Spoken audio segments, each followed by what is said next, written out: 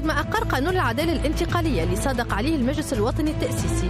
بإحداث هيئة الحقيقة والكرامة ورد على المجلس قرابة 400 ملف للترشح لها الهيئة. قعد منهم 395 ملف لاختيار 15 عضو يشرفوا على مسار العدالة الانتقالية في بلادنا في أجل ما يتجاوز شهر فيفريل الجاري. ومن المفروض أنه هالهيئة باش تقوم بكشف الحقيقة ومحاسبة المتورطين وجبر الضرر للضحايا قبل المرور للمصالحة الوطنية. وكالعادة وكيف كل هيئة بدأت تحوم حول هالشكوك والتسريبات. ونتهمت لجنة فرز الملفات بالقيام بالمحاصة الحزبية. وهو ما تصدر عديد العناوين على غرار. هيئة الحقيقة والكرامة بوادر المحاصة الحزبية في فرز الترشحات.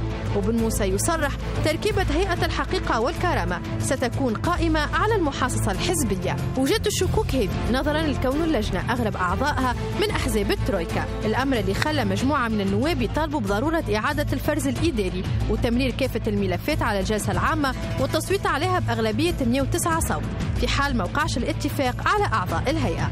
وتقعد بهكا هيئة الحقيقة والكرامة تدور في دوامة مفرغة وممكن يتعطل مسارها إذا ما وقعش الاتفاق عليها.